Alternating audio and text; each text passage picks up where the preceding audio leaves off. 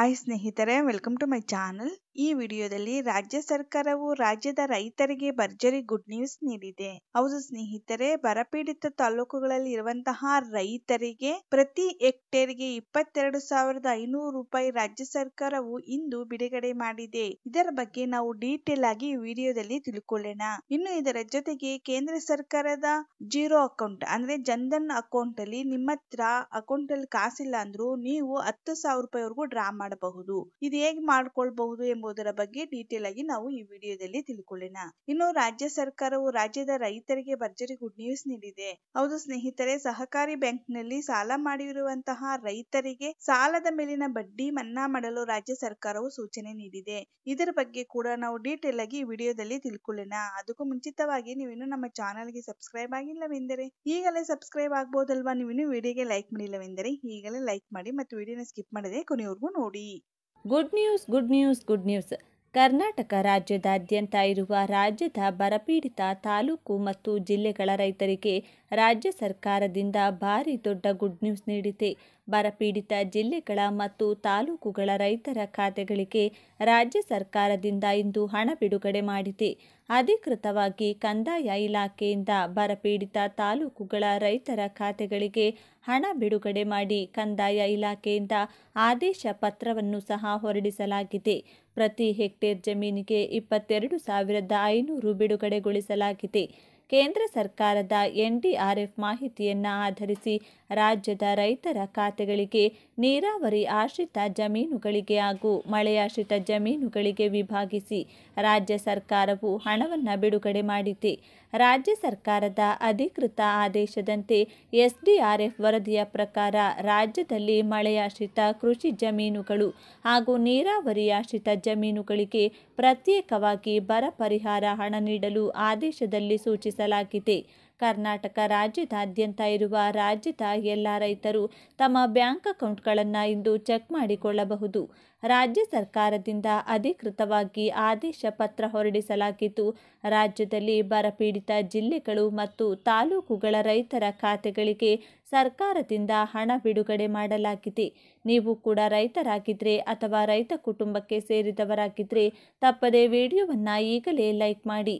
ಅಥವಾ ಮತ್ತು ಬರಪೀಡಿತ ಜಿಲ್ಲೆ ಅಥವಾ ತಾಲೂಕುಗಳ ರೈತರಾಗಿದ್ದರೆ ವಿಡಿಯೋವನ್ನು ತಪ್ಪದೇ ಕೊನೆವರೆಗೂ ನೋಡಿ. ರಾಜ್ಯ ಸರ್ಕಾರದಿಂದ ಮುಂಗಾರು ಹಂಗಾಮಿನ ಬೆಳೆ ಹಾನಿಗೆ ರೈತರಿಗೆ ಪರಿಹಾರ ಬಿಡುಗಡೆಗೊಳಿಸಿ ಆದೇಶ.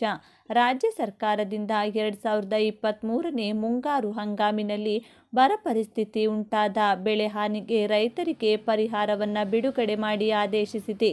ಈ ಕುರಿತಂತೆ ಇಂದು ಕಂದಾಯ ಇಲಾಖೆಯ ಸರ್ಕಾರದ ಅಧೀನ ಕಾರ್ಯದರ್ಶಿ ನಡವಳಿಯನ್ನು ಹೊರಡಿಸಿದ್ದು, ಕೇಂದ್ರ ಸರ್ಕಾರದಿಂದ ಬರ ನಿರ್ವಹಣೆಗಾಗಿ ಎನ್ಡಿಆರ್ಎಫ್ ಅನುದಾನವನ್ನು ನಿರೀಕ್ಷಿಸಿ ಕೇಂದ್ರ ಸರ್ಕಾರದ ಗೃಹ ಮಂತ್ರಾಲಯವು ದಿನಾಂಕ ಹದಿನೇಳು ಏಳು ಎರಡು ಸಾವಿರದ ಇಪ್ಪತ್ತ್ಮೂರರಲ್ಲಿ ಹೊರಡಿಸಿರುವ ಎಸ್ಡಿಆರ್ಎಫ್ ಮಾರ್ಗಸೂಚಿಯನ್ವಯ ಅರ್ಹ ರೈತರಿಗೆ ಬರ ಪರಿಸ್ಥಿತಿಯಿಂದ ಶೇಕಡ ಮೂವತ್ತ್ಮೂರಕ್ಕಿಂತ ಹೆಚ್ಚಿನ ಪ್ರಮಾಣದಲ್ಲಿ ಉಂಟಾದ ಬೆಳೆ ಹಾನಿಗೆ ಗರಿಷ್ಠ ಎರಡು ಹೆಕ್ಟೇರ್ ಸೀಮಿತಗೊಳಿಸಿ ಇನ್ಪುಟ್ ಸಬ್ಸಿಡಿಯನ್ನು ನಿಗದಿಪಡಿಸಲಾಗಿದೆ ಅಂತ ತಿಳಿಸಿದ್ದಾರೆ. ಮಳೆಯಾಶ್ರಿತ ಬೆಳೆ ನಷ್ಟಕ್ಕೆ ಪ್ರತಿ ಹೆಕ್ಟೇರ್ಗೆ ರೂಪಾಯಿ ಎಂಟು ಸಾವಿರದ ಐನೂರು, ನೀರಾವರಿ ಬೆಳೆಗೆ ರೂಪಾಯಿ ಹದಿನೇಳು ಸಾವಿರ ಹಾಗೂ ಬಹುವಾರ್ಷಿಕ ಬೆಳೆ ನಷ್ಟಕ್ಕೆ ಪರಿಹಾರಕ್ಕೆ ರೂಪಾಯಿ ಇಪ್ಪತ್ತೆರಡು ಸಾವಿರದ ಐನೂರು ಬರ ಪರಿಹಾರವನ್ನು ನಿಗದಿ ಮಾಡಿ ಅದಕ್ಕಾಗಿ ರಾಜ್ಯ ಸರ್ಕಾರವು ನೂರ ಐದು ಕೋಟಿಯನ್ನು ಆಯುಕ್ತರು ಕರ್ನಾಟಕ ರಾಜ್ಯ ವಿಪತ್ತು ನಿರ್ವಹಣಾ ಪ್ರಾಧಿಕಾರ ಬೆಂಗಳೂರು ಇವರಿಗೆ ಬಿಡುಗಡೆ ಮಾಡಿದೆ.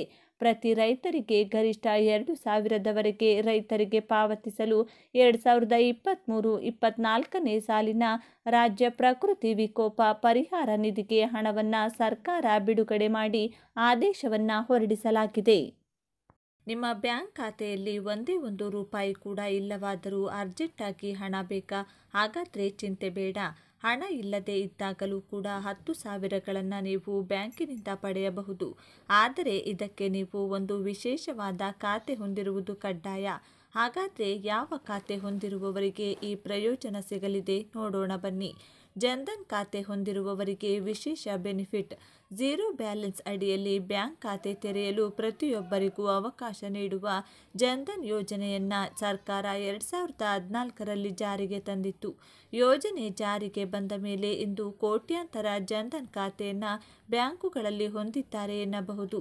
ಈ ಯೋಜನೆ ಅಡಿಯಲ್ಲಿ ಒಂದು ರೂಪಾಯಿಗಳನ್ನು ಕೂಡ ಬ್ಯಾಲೆನ್ಸ್ ಮೊತ್ತವಾಗಿ ಇಡದೆ ನೀವು ಖಾತೆ ತೆರೆಯಬಹುದು, ಹಣಕಾಸಿನ ವಹಿವಾಟು ನಡೆಸಬಹುದು. ಜನ್ಧನ್ ಖಾತೆಯ ಓವರ್ ಡ್ರಾಫ್ಟ್ ಸೇವೆ.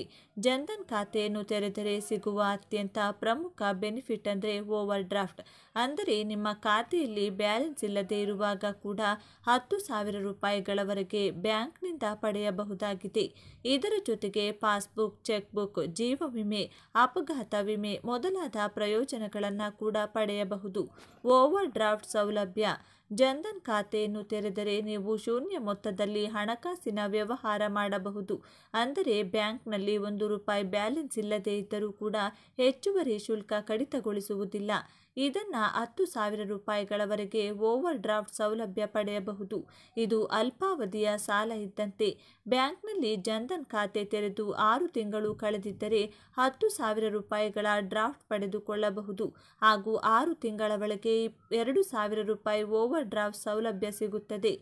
ಇನ್ನು ಜನ್ಧನ್ ಖಾತೆ ತೆರೆದ ಅರವತ್ತೈದು ವರ್ಷ ವಯಸ್ಸಿನ ಮೇಲ್ಪಟ್ಟವರು ಈ ಪ್ರಯೋಜನ ಪಡೆಯಬಹುದು. ಜನ್ಧನ್ ಖಾತೆಯ ಇತರ ಪ್ರಯೋಜನಗಳು. ಖಾತೆಯಲ್ಲಿ ಕನಿಷ್ಠ ಬ್ಯಾಲೆನ್ಸ್ ಇರಬೇಕಾದ ಅಗತ್ಯವಿಲ್ಲ. ಉಳಿತಾಯ ಖಾತೆಗೆ ಸಮಾನವಾದ ಬಡ್ಡಿಯನ್ನು ಪಡೆಯಬಹುದು. ಮೊಬೈಲ್ ಬ್ಯಾಂಕಿಂಗ್ ಸೌಲಭ್ಯ. ಈ ಖಾತೆ ಹೊಂದಿದ್ರೆ ಎರಡು ಲಕ್ಷ ರೂಪಾಯಿ ಜೀವ ವಿಮೆ ಐದರವರೆಗಿನ ಅಪಘಾತ ವಿಮೆ ಸಿಗುತ್ತದೆ. ಹತ್ತು ಸಾವಿರ ರೂಪಾಯಿಗಳ ಓವರ್ ಡ್ರಾಫ್ಟ್ ಸೌಲಭ್ಯ. ನಗದು ಹಿಂಪಡೆಯಲು ಮತ್ತು ಶಾಪಿಂಗ್ ಮಾಡಲು ರೂಪೇ ಕಾರ್ಡ್ ಪಡೆಯಬಹುದು. ಜನ್ಧನ್ ಖಾತೆಯನ್ನು ಹೊಸದಾಗಿ ತೆರೆಯಬೇಕು ಎಂದೇನೂ ಇಲ್ಲ. ನಿಮ್ಮ ಬ್ಯಾಂಕ್ನಲ್ಲಿ ಇರುವ ಉಳಿತಾಯ ಖಾತೆಯನ್ನು ಜನ್ಧನ್ ಖಾತೆಯಾಗಿ ಬದಲಾಯಿಸಬಹುದು. ಇನ್ನು ಓವರ್ ಡ್ರಾಫ್ಟ್ ಸೌಲಭ್ಯಕ್ಕಾಗಿ ಬಡ್ಡಿಯನ್ನು ಕೂಡ ವಿಧಿಸಲಾಗುತ್ತದೆ. ನಿಮ್ಮ ಬಳಿ ಆಧಾರ್ ಕಾರ್ಡ್ ಮತ್ತು ಪ್ಯಾನ್ ಕಾರ್ಡ್ ಇದ್ದರೆ ಸುಲಭವಾಗಿ ಬ್ಯಾಂಕುಗಳಲ್ಲಿ ಜನ್ಧನ್ ಖಾತೆ ಆರಂಭಿಸಲು ಸಾಧ್ಯವಿದೆ. ಒಟ್ಟಿನಲ್ಲಿ ಒಂದು ರೂಪಾಯಿ ಬ್ಯಾಲೆನ್ಸ್ ಇಲ್ಲದೆ ಇರುವಾಗ ಕೂಡ ಬ್ಯಾಂಕಿನಿಂದ ಹತ್ತು ಸಾವಿರ ರೂಪಾಯಿಗಳನ್ನು ಯಾವುದೇ ಶ್ಯೂರಿಟಿ ಇಲ್ಲದೆ ಜನ್ಧನ್ ಖಾತೆ ಹೊಂದಿದ್ದವರು ಪಡೆದುಕೊಳ್ಳಬಹುದು. ರಾಜ್ಯದ ರೈತರು ಸಹಕಾರಿ ಬ್ಯಾಂಕ್ನಲ್ಲಿ ಸಾಲ ಪಡೆದು ಅವಧಿಯೊಳಗೆ ಸಾಲ ಮರುಪಾವತಿ ಮಾಡಿದ್ದರೆ ಅದರ ಮೇಲಿನ ಬಡ್ಡಿಯನ್ನು ಮನ್ನಾ ಮಾಡುವುದಾಗಿ ಮುಖ್ಯಮಂತ್ರಿ ಸಿದ್ದರಾಮಯ್ಯ ಘೋಷಣೆ ಮಾಡಿದ್ದಾರೆ. ಈ ಮೂಲಕ ರೈತರಿಗೆ ಭರ್ಜರಿ ಸಿಹಿ ಸುದ್ದಿ ನೀಡಿದ್ದಾರೆ. ಇಂದು ಬೆಳಗಾವಿಯ ಸುವರ್ಣಸೌಧದಲ್ಲಿ ನಡೆಯುತ್ತಿರುವಂಥ ವಿಧಾನಸಭೆಯಲ್ಲಿ ಮಾತನಾಡಿದಂಥ ಮುಖ್ಯಮಂತ್ರಿ ಸಿದ್ದರಾಮಯ್ಯ ಅವರು ಸಹಕಾರಿ ಬ್ಯಾಂಕ್ನಲ್ಲಿ ಅವಧಿಯೊಳಗೆ ಸಾಲ ಮರುಪಾವತಿ ಮಾಡಿದ್ದಂಥ ರೈತರ ಬಡ್ಡಿಯನ್ನು ಮನ್ನಾ ಮಾಡಲಾಗುವುದು ಎಂದರು. ಮಧ್ಯಮಾವಧಿ ಮತ್ತು ದೀರ್ಘಾವಧಿ ಸಾಲಕ್ಕೆ ಸಂಬಂಧಿಸಿದಂಥ ಬಡ್ಡಿ ಮನ್ನಾ ಮಾಡಲಾಗುತ್ತಿದೆ. ಅವಧಿಯೊಳಗೆ ಸಾಲ ಮರುಪಾವತಿ ಮಾಡಿದವರಿಗೆ ಬಡ್ಡಿ ಮನ್ನಾ ಪ್ರಯೋಜನ ಸಿಗಲಿದೆ ಎಂಬುದಾಗಿ ವಿಧಾನಸಭೆಯಲ್ಲಿ ಮುಖ್ಯಮಂತ್ರಿ ಸಿದ್ದರಾಮಯ್ಯ ಅವರ ಸಾಲದ ಮೇಲಿನ ಬಡ್ಡಿ ಮನ್ನಾ ಘೋಷಣೆಯನ್ನ ಮಾಡಿದರು. ಈ ವೇಳೆ ಮಧ್ಯ ಪ್ರವೇಶಿಸಿದಂಥ ವಿಪಕ್ಷ ನಾಯಕ ಆರ್ ಅಶೋಕ್, ಸಿಎಂ ಸಿದ್ದರಾಮಯ್ಯ ಸಾಲ ಮನ್ನಾ ಘೋಷಣೆಯನ್ನು ಟೀಕಿಸಿದರು. ಅಲ್ಲದೆ ರೈತರು ಸಾಲ ಕಟ್ಟಲ್ಲ, ನೀವು ಬಡ್ಡಿ ಮನ್ನಾ ಮಾಡಲ್ಲ ಎಂದರು. ರೈತರ ಎರಡು ಲಕ್ಷ ರೂಪಾಯಿವರೆಗಿನ ಸಾಲ ಮನ್ನಾ ಮಾಡಬೇಕು. ಬರದಿಂದ ಕಂಗೆಟ್ಟ ರೈತರಿಗೆ ಪ್ರತಿ ಎಕರೆಗೆ ಇಪ್ಪತ್ತೈದು ಸಾವಿರ ಪರಿಹಾರ ಕೊಡಬೇಕು ಎಂಬುದಾಗಿಯೂ ಒತ್ತಾಯಿಸಿದ್ದಾರೆ.